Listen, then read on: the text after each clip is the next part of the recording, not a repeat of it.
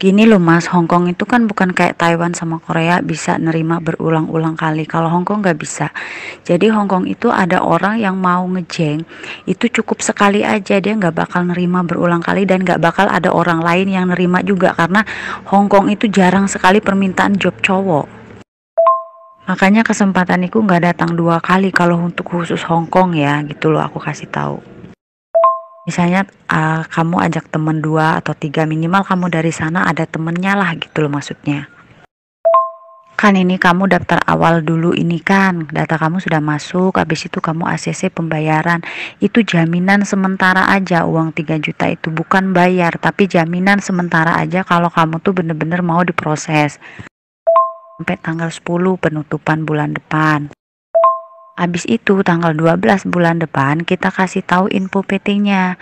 Jadi PT-nya itu kan akan disesuaikan dengan tempat domisili kamu biar kamu tuh prosesnya nggak kejauhan. Nah itu tanggal 12 kita kasih tahu info PT-nya tanggal 15-nya kamu sudah mulai masuk PT.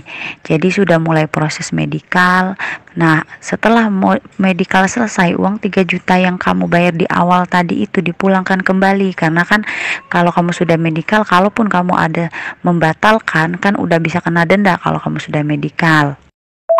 Nah setelah itu nunggu hasil medikal seminggu atau 10 hari hasil medikal keluar fit kamu baru pasporan habis pasporan tunggu pisah ya kan? Pisah turun tanda tangan kontrak sampai uh, schedule penerbangan itu diperkirakan habis lebaran tiga minggu habis lebaran kamu terbang.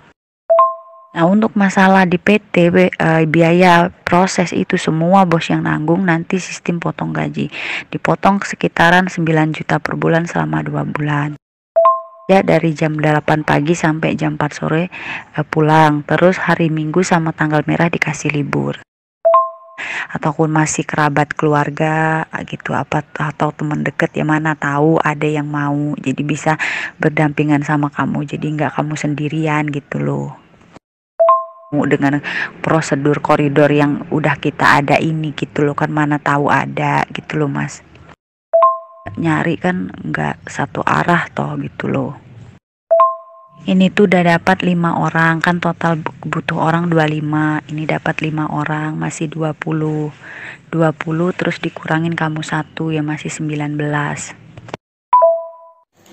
Halo Assalamualaikum warahmatullahi wabarakatuh. Selamat siang kacek-kacek semuanya. Uh, Saya Susi Susanti akan memberikan sebuah video klarifikasi Dengan adanya kasus penipuan yang mengatasnamakan ID saya. Yang ini Ini ya Biasanya penipu ini akan mengaku namanya sebagai Yanti atau Susi dengan iming-iming akan memberikan part-time, memberikan job dengan gaji yang fantastis serta akan mengiming-imingkan pinjaman uang dengan uh, bunga yang rendah.